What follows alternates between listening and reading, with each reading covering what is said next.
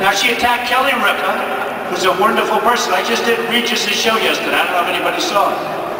But she attacked Kelly Ripa because this guy put his hand in her mouth to shut her up. He put his hand right in her mouth, Clay Aiken. And Kelly's nice and she didn't really attack that. She attacked Danny DeVito and called him a drunk and talked about he's an alcoholic. And he's not. I mean, I know him, he's a friend of mine. And I called him, I said, Danny, she called you all these things. This is before I had my problem with her. Go on television and announce that she's bad news and you're not an alcoholic. And he said, ah, I don't want to get involved. I don't want to get... I said, all right, that's, you know, different personality. So then I get a call, because I don't watch that show, it's a piece of shit. and then I get a call. I get a some newspaper and some other guy and a couple of other people. And they say, Rosie went on this ranting, raving, lunatic thing about you. She said your hair is shitty. Not wrong about that. But it is my hair. And she attacked me because I gave Tara Conner, who was the Miss USA, everyone thought I'd fire her. And I saw how beautiful she was. I said, how the hell can I fire her? Of course, Rosie said that.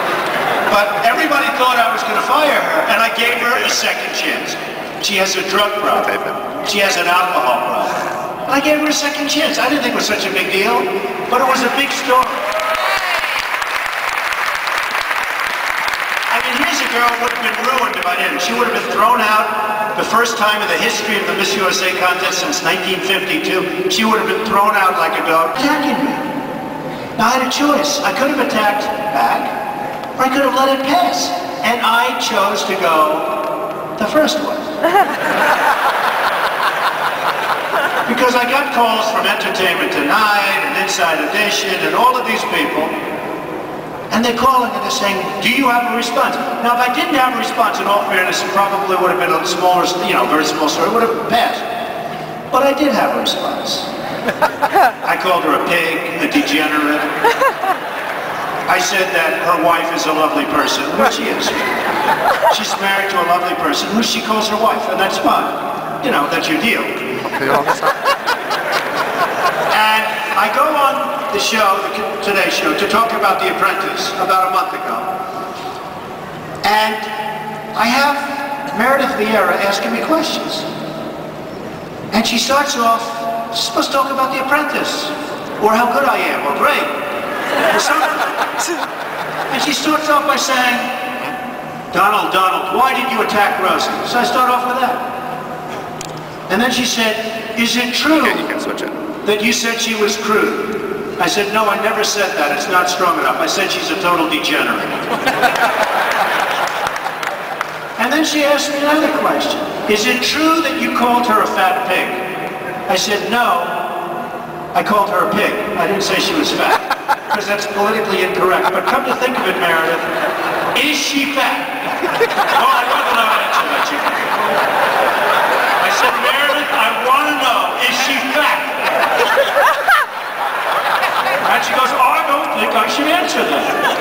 I said, well, assuming I did call her a fat pig, do you think I'd be wrong? I didn't. But do you think I'd be wrong? And she goes, let's get off the subject. Because these people really have no balls. I mean, I, and I love Meredith, she's very nice, but they don't have them. And then her third point is this. Donald, why do you always talk about Rosie? I said, because you asked me questions. It was the dumbest interview I think I've ever had in my life. I feel like a moron, you know. Here I am, I graduated from Wharton, and I'm calling people fat pigs. You know, I feel like- but it was very interesting because that, you know, slob, Rosie, goes on a red carpet the other day. And they ask her a question about Donald Trump. Tell me about Donald Trump. We want to ask him. I don't want to talk about him. You know why?